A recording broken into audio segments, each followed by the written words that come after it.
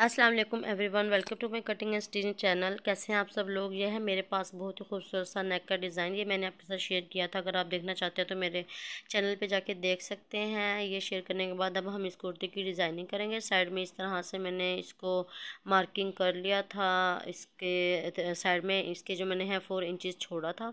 दोनों तरफ़ से फ़ोर इंचज़ पर छोड़ के मैंने मार्किंग कर थी सीधी लाइन्स और जो नीचे वाली है वो मैंने थ्री इंचज़ पर छोड़ा था। इसका जो है दामन उस पर मैंने लाइनिंग कर ली थी। पहले आप चाहें तो आयरन की मदद से भी आ, लगा सकते हैं बस मैं बट मैंने ये जो था इसकी मार्किंग वो कर ली थी। मेरे पास ये लेस है जो कि मैं ग्रीन कलर में मैंने ली है। इसके अंदर फ्लावर्स और उसके साथ मैचिंग की है। ये जो मैंने मार्किंग किया इस तरह से इसके ऊपर रख लेंगे। हम ऊपर से स्टार्ट करेंगे हम लेस को लगाना। इस तरह से हम इस लेस को सारी को जहाँ तक हमने मार्किंग की है वो लगा लेंगे। ये देखिए इस तरह से मैंने ऊपर से नीचे तक जहाँ मैंने मार्किंग की थी, वहाँ तक मैंने लेस को लगा लिया है। इसको यहाँ से हम पक्का कर लेंगे ज़रा ताकि हमारी जो लेस है वो उखड़े नहीं, यहाँ से दोबारा दोबारा।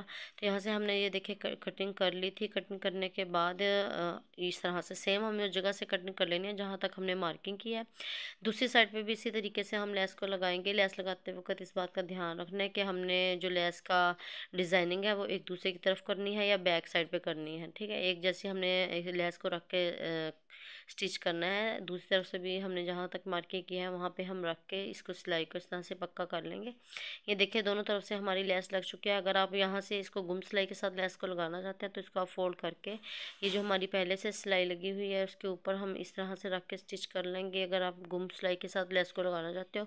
और ये बारीक लेस थी, ऐसे ही अच्छी लग रही थी। मैंने ऐसे ही छोड़ दिया था, इसको मैंने इस तरह से किया नहीं था। तो ये डबल मैंने सिलाइयाँ लगा ली थी। ये देखें, ताकि ये ऊपर को उठी ना रहे, नीचे को बैठी रहे, मैंने डबल स्लाइस पे कर ली थी। अब ये जो नीचे मैंने मार्किंग की है, उस पर भी इस तरह से हम लेस लगाएँगे और स्टिच कर देंगे। इस जगह से जहाँ पे हमने ऊपर वाली लेस को कटिंग किया है, वहाँ से हम उसके ऊपर अच्छी तरह से रखेंगे ताकि वो अलग नज़र ना आए, उसकी जो थोड़ी सी लेस के लेस थोड़ी सी इस लेस के नीचे आ जाए। देखिए, यहाँ से हम इस तरह से स्टिच करेंगे।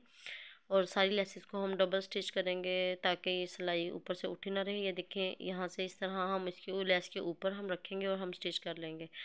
सारी हमारी जो नीचे बॉटम की लेस है, वो हमारी इस तरह से हम लगा लेंगे। ये देखिए हमारी नीचे ऊपर वाली जो लेस है, वो लग चुकी है। इस लेस को भी हम डबल स्टिच कर लेंगे ताकि हमारी ये सिलाई जो है ऊपर से उठी ना रहे। डबल सिलाई करके भी हमने ये देखिए कटिंग कर लिया है। नीचे हमारा जो है दामन, उस पर इस तरह से एक्स्ट्रा फैब्रिक हम लगाएँगे।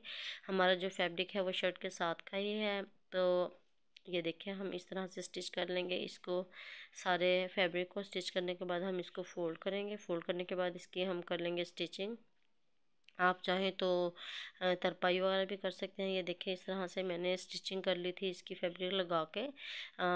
जो है हमारा दामन, उसको इस तरह से अगर एक्स्ट्रा फैब्रिक लगा के हम फोल्ड करते हैं तो उसमें ज़रा सफ़ाई और नीटनेस आती है। ये देखिए, इस तरह से जो ऊपर वाली मैंने लेस लगाई है दामन के ऊपर, उसका मैंने जिस तरह से डिज़ाइनिंग ऊपर की तरफ़ किया है, इसकी हम बैक, नीचे की तरफ़ करेंगे, ताकि सेम एक जैसी डिज़ाइनिंग हो।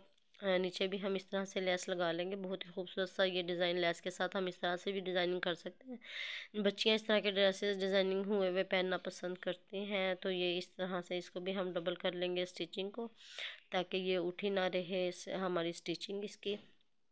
हमारा ये स्टाइल बहुत ही खूबसूरत बन जाएगा, जो स्लीव्स हैं उनके ऊपर भी इसी तरह से मैंने जो है स्टिचिंग वो कर ली है। ये देखें एक तरफ़ मैंने ऊपर और एक दफ़ा नीचे मैंने लगा ली थी लेस। ये हमारा जो कुर्ती है वो बन के बिल्कुल तैयार हो हो गई थी, देख सकते हैं आप। मैंने इसके जो चॉक्स वगैरह वो भी फोल्ड कर लिए थे। लेस के साथ बहुत ही प्यारा डिज़ाइन इसका बन चुका था। आई होप आपको ये डिज़ाइन पसंद आया होगा। बैक मैंने इसी सिंपल रखी है। लाइक और शेयर और करें सब्सक्राइब मेरे चैनल को। इन नेक्स्ट वीडियो में में हाज़िर होंगे। अल्लाह हाफिज़।